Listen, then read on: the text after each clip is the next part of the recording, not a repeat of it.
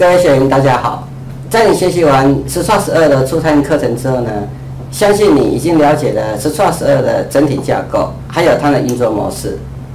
那你应该有能力创建出一个具有基本功能的十创十二 Web 专案的。这个基本功能的专案呢，它其实含有两个重要的技术，一个就是动态方法的呼叫和十创十二的例外处理机制。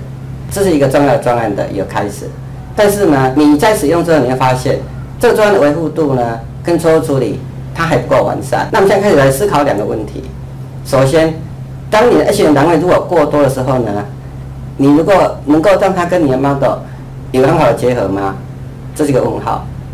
那再就是，你如果送出的资料呢是一个日期格式，或者是一个数字的格式，它有办法做转换吗？这两个问题。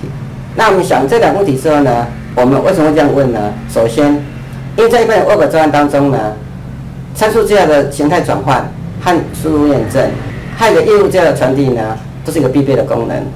所以呢，在我们十创十二的进阶课程这边呢，我们会定下三个学习的目标。首先是如何是做一个形态转换器，还有你如何应用十十二所提供的一个验证器，以及如何利用设备 API 来传递业务的逻辑资料。这核心知识呢，都将来我们未来在实务上应用时的一个重要的根基。那这是我们在进阶课程这边所要定下的三个学习的方向。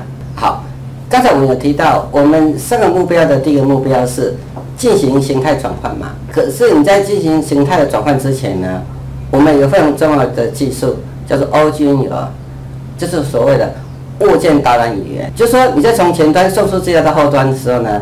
刚才说你中间要形态转换嘛，要转换之前呢，你必须先知道十三十二系统呢，它的 OGL 运算式呢是怎么传递、送出跟展示层怎么接收资料。所以呢，我们在整个课程开始之前呢，第一个单元这边要介绍的就是 OGL 运算式是怎么操作的。现在开始的是 OGL 运算式语言的介绍。O g n 我们称它叫物件导览语言，这是被十创十二所整合的一种开放隐私码技术，它是十创十二当中很重要的一种运算式语言。